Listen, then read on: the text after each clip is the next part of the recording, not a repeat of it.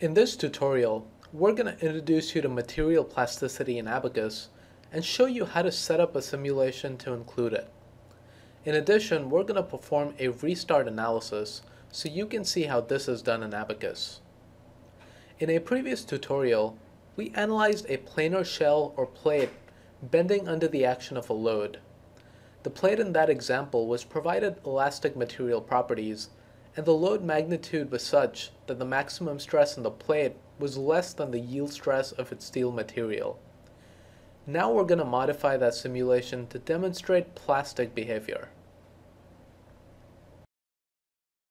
The planar shell will be loaded with two concentrated forces of 270,000 newtons each so that the stress in some regions will exceed the yield stress of steel and the plate will deform plastically. The material used is a generic steel with a density of 7,872 kilograms per meter cubed, a Young's modulus of 200 gigapascals, and a Poisson's ratio of 0.3.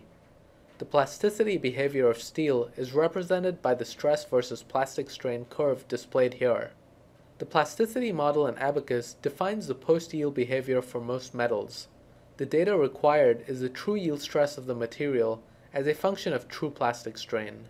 The first data point corresponds to the initial yield stress, also known as the elastic limit of the material, hence the plastic strain value associated with it should be zero.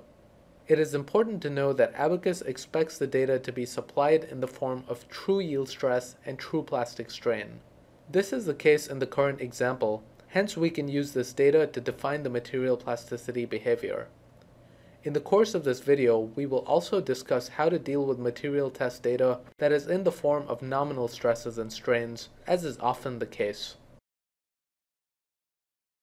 At the end of the load step, we will release the load, allowing the plate to spring back and recover its elastic deformation. The plastic deformation, of course, will not be recovered. However, we will not perform the spring back step in the same analysis as the load step. Instead, we will perform the load analysis as a complete job, request Abaqus to output a restart file, and then use this restart file to continue the analysis as a new restart job from where the previous one left off. Restart analyses are useful because they allow you to add another analysis step to a completed analysis job.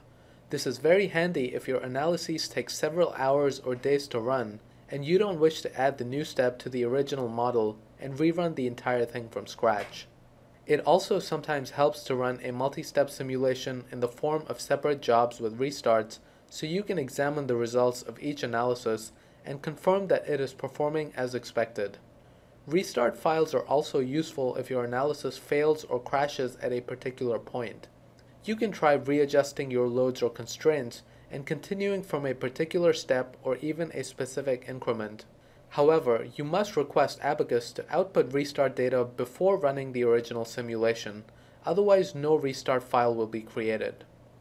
Let's start Abaqus and work through this.